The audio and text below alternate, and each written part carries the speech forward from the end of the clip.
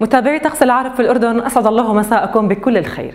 نهار اليوم الخميس سادت عموم مناطق المملكة أجواء حارة نسبيا وبقيت درجات الحرارة أعلى من معدلاتها السنوية على أن تخف درجات الحرارة أو تقل درجات الحرارة. إن شاء الله هذه الليلة عن نهار الخميس لتصبح الأجواء ربيعية ولطيفة ودرجات الحرارة حول معدلاتها السنوية لمثل هذا الوقت من العام.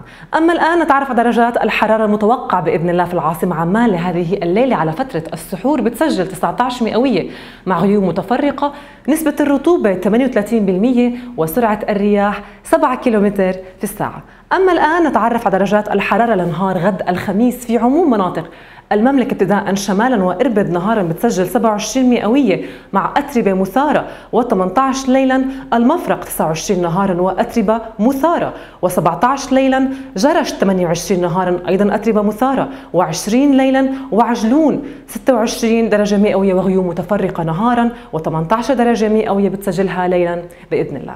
ننتقل إلى المناطق الوسطى مع العاصمة عمان 27 نهارا 17 ليلا البلقاء 28 نهارا 18 ليلا.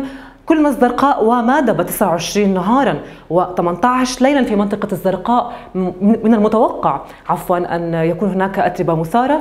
البحر الميت 35 نهارا أجواء حارة جدا و26 مئوية بتسجلها ليلا بإذن الله.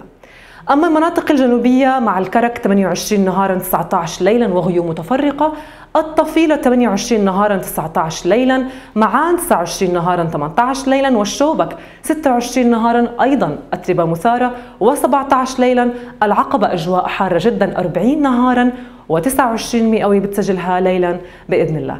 أخيرا مع المناطق الشرقية كل من الرويشد الصفاوي والأزرق درجات حرارة متقاربة بين 34 و 32 نهارا وليلا بتنخفض ل 16 درجة مئوية وأتربة مثارة. متابعينا هذا كان كل ما لدينا حتى هذه الساعة. تابعوا تفاصيل نشرات طقس العرب تصبحون على ألف خير.